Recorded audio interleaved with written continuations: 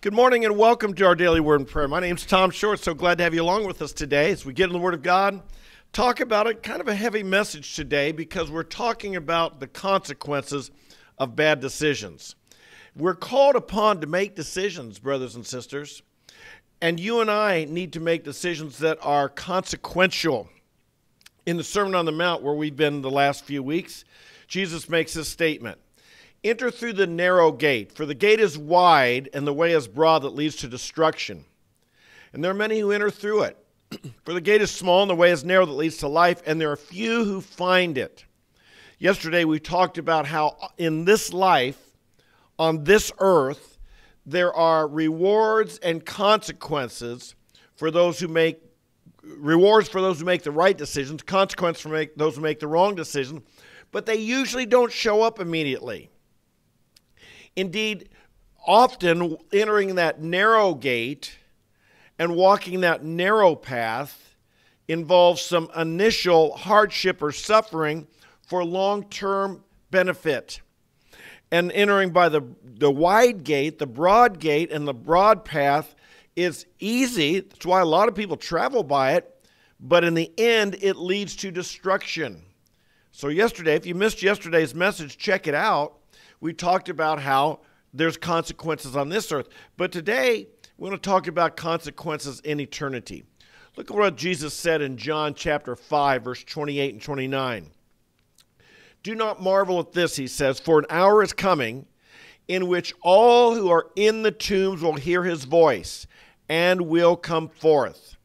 Those who did the good deeds to a resurrection of life, those who committed the evil deeds to a resurrection of judgment. That's right. We don't hear about this often, do we? I don't know. I, I personally, I tell you, I don't like thinking about hell or even talking about it, about eternal judgment. It's a heavy topic, it's a distressing topic, it's troubling for us. And many people want to, many people reject uh, the Bible, reject Jesus, reject the Christian faith because somehow they don't like the idea of hell. Well, I got a better idea. Uh, just escape it. The Bible says it's appointed unto all men to die once, and then comes judgment. Not believing in it doesn't cause it to not happen. I remember you know, I, I, there are students on campus who actually tell me they don't need to worry about hell because they don't believe in it. Well, to me, that's like saying you don't need to worry about your finals because you don't believe they're, they're going to have happen someday. We all have a final. We all have an eternal final, a final judgment. And in that judgment, some will pass and some will fail, and there is no makeup exam. The judgment is eternal, the judgment lasts forever.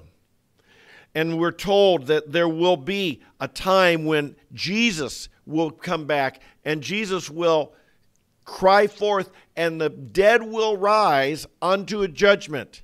Those who did the good, it says, the, those who had faith, who did the will of God, had faith in Jesus Christ, will go to a resurrection of life.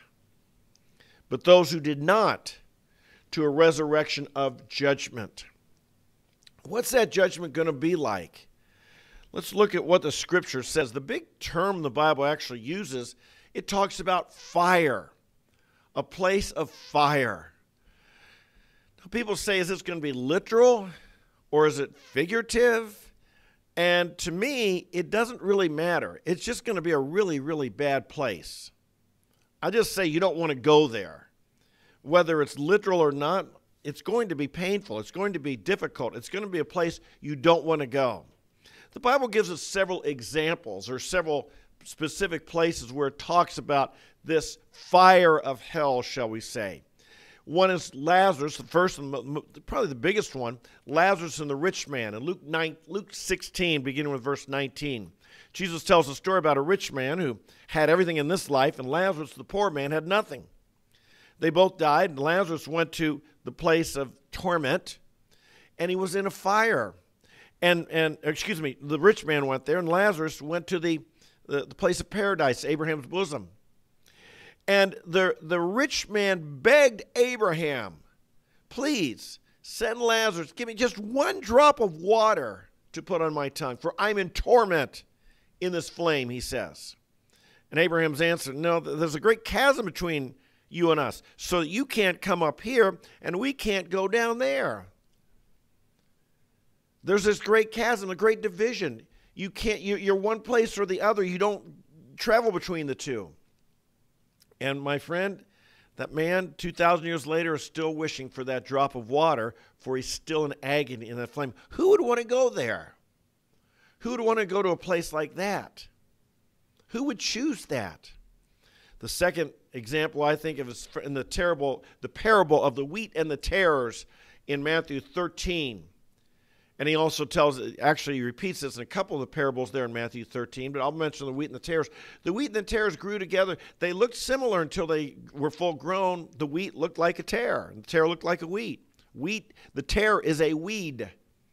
The weed is something you can eat. And at the end of time, God was going to divide them.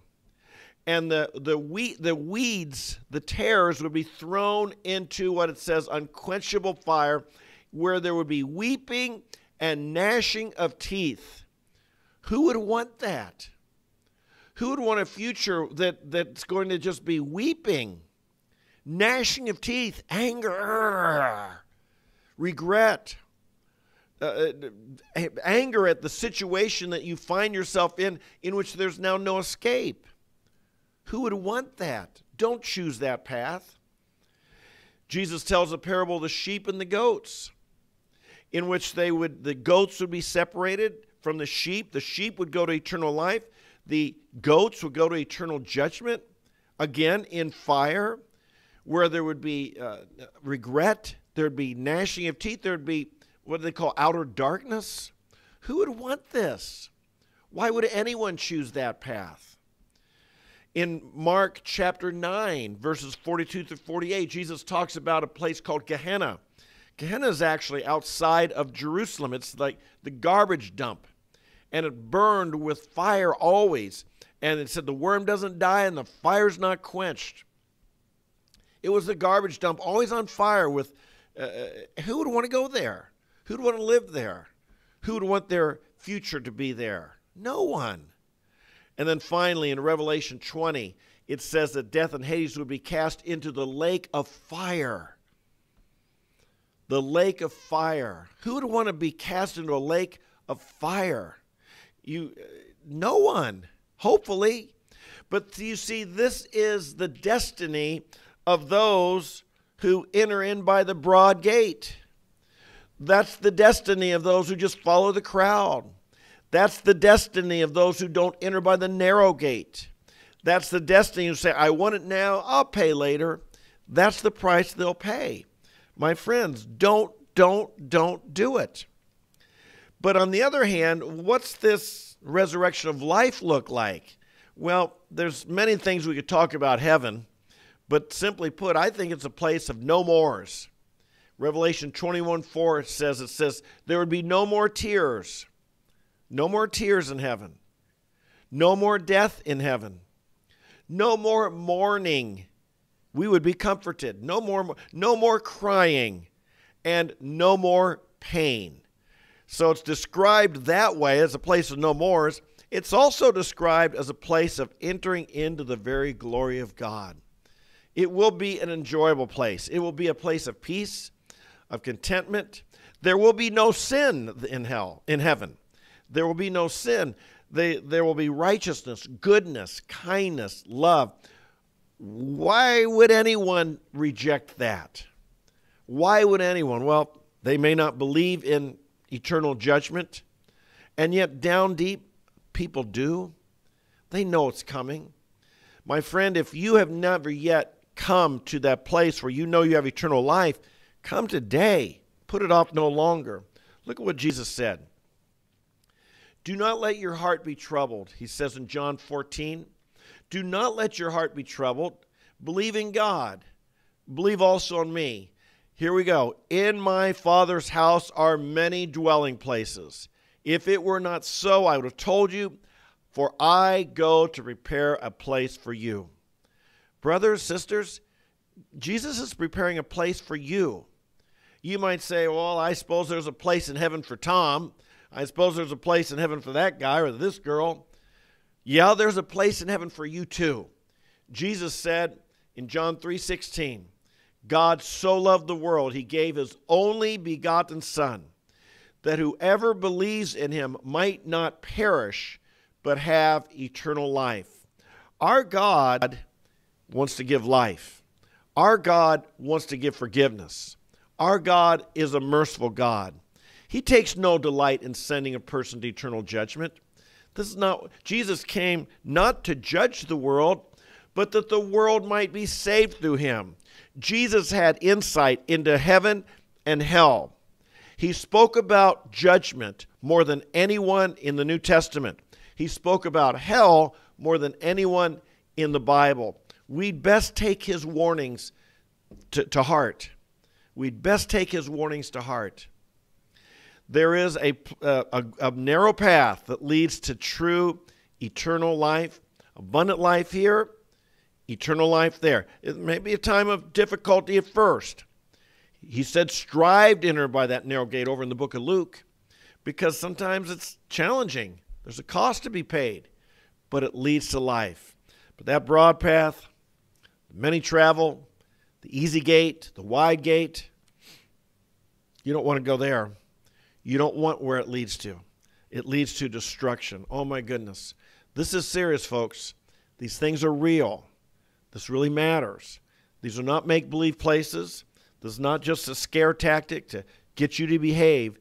No, hell and judgment is the consequence of having lived a life in apathy towards, rejection of, rebellion against Almighty God. Heaven is the place that God offers those who realize they were wrong and seek His mercy and His forgiveness through faith in our Lord Jesus Christ. If you ever received Christ, if not, do it right now. If you've never got right with God, let's do it right now. Let me lead you in prayer as we do this. Oh, Father, we acknowledge to you our own. We were part of the rebellion. We've been part of the rebellion. We've been in rejection of Christ. We've gone our own way. We've sinned against you.